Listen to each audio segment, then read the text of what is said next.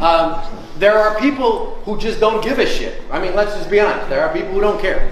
Um, and there's really, you can't make, you can't, look, I, I really, you know, I pride myself in having lots of logical arguments. You cannot, logic cannot persuade somebody to care morally if that person doesn't care.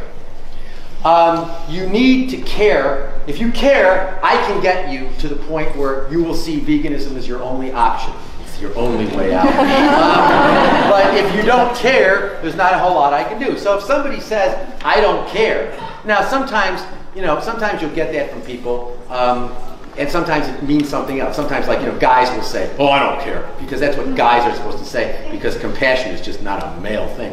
Um, and, and caring about morality is, for a lot of men, you know, a threat. Um, and so I think that, um, that uh, uh, you know, if somebody really doesn't care, then there's nothing you can do. But you know what? The good thing, that's bad, Stuart, but the good thing is there's a zillion people who do care. And, and I look at everybody I meet, I look at, I stop, my, my, my, I'm not kidding this is the way I think. Every human being I meet, I see as a potential being. And, I, and, and I, I, I, I look at every person I meet as a challenge. This person has the spark of morality within them. I've got to ignite it. That's what I should be doing. If I find out that they're in fact dead, that there ain't no spark, I move on to the next person. And I have to tell you, have I encountered people in the 30 plus years that I have been engaged in this fun project? Um, the answer is yeah, I have met some people who don't care. I haven't met a whole lot of them.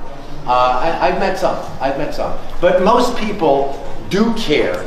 Um, and, and our goal, our object, our responsibility, our obligation is to educate those people and explain to them um, why their caring has to translate in, into, you know, has to translate into certain concrete changes in lives. You know, the nice thing about veganism is it's one thing we can all do. We don't need expensive campaigns. We don't need big organizations. This is something people can do right now. And you know, and I, I you know, there's there are there's, there's this group, uh, Direct Action Everywhere or something, and I, I, I, I, talked with this guy on Bob Linden's show a couple weeks or a couple months ago, and um, and he was saying, well, you know, veganism is harmful because you know it's not activist. And I said, sorry, Charlie. In my judgment, being a vegan is one of is the most important activist thing you can do for non-human animals. I mean, I hope it's not the only thing you do. I hope you go vegan and then you educate other people about veganism.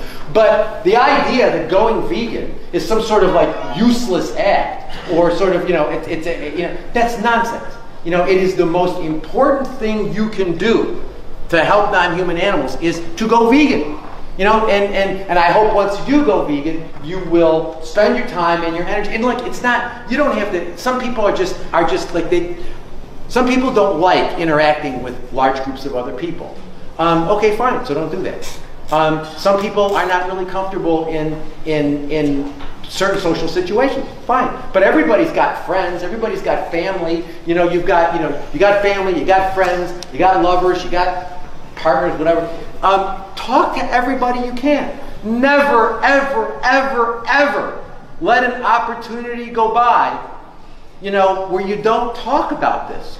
I mean, you know, yes, I do this in large groups, but I do it every day with every human. When I make, when I made the plane reservation, when I made the, the damn plane reservation with British Airways, you know, I, I got some, she was very pleasant. And I said, I want a vegan meal. And I said, no, no I don't want, know, and she said, yes, know, and I said, I said, no, and I really mean this. I said, I don't want anything on that tray that's got any animal products. I don't want any creamer that's got casein in it. And we had, and she said, well, you're very strict about this. I said, no, I'm just a vegan. And, and, and, and she said, no, and we got into a discussion. And, and Anna was in the other room and she was laughing. And she said, you're the only person who can spend 40 minutes on the phone with British Airways talking to this woman about veganism. And the answer is, I will talk talk about it with anybody who, you know, who doesn't walk away.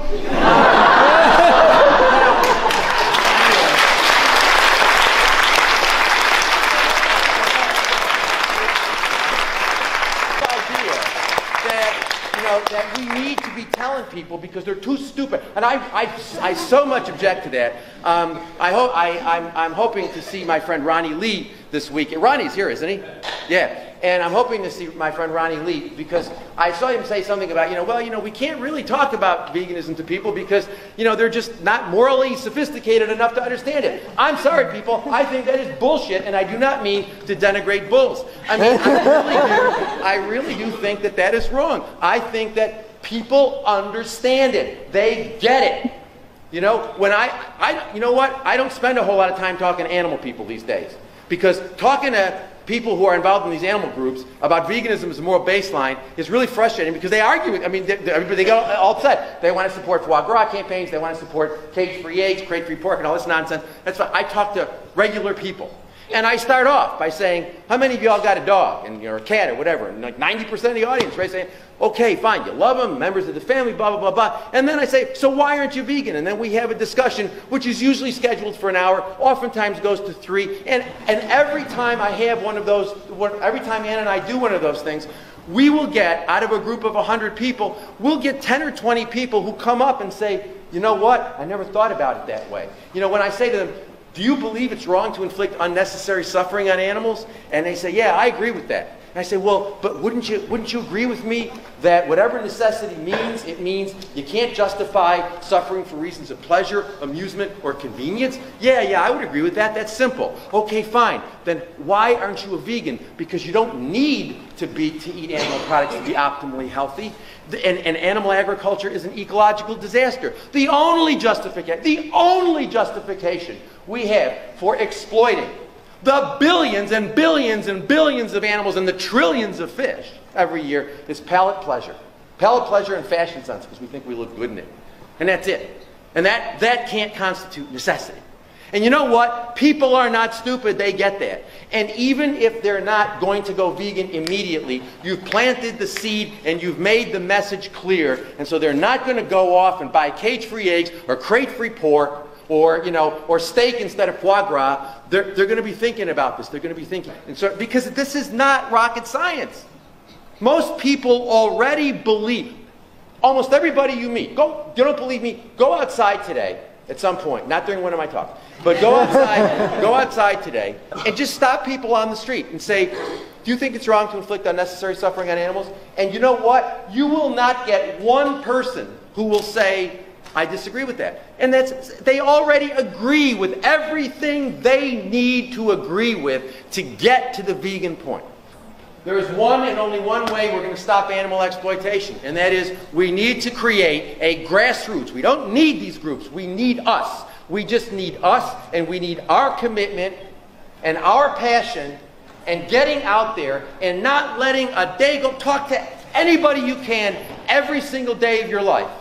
We need a grassroots movement. It's the only thing that's going to ever change.